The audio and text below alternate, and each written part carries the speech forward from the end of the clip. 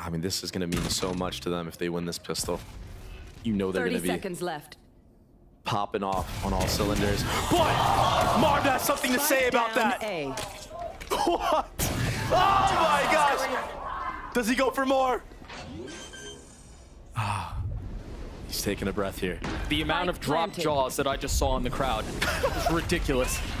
I think everybody felt like it was going to be in Sentinels' hands, but Marv has something other to say about it. Four headshots. He's done it on his own. Oh, he was ready to get- take the head off his teammate. Can he finish it?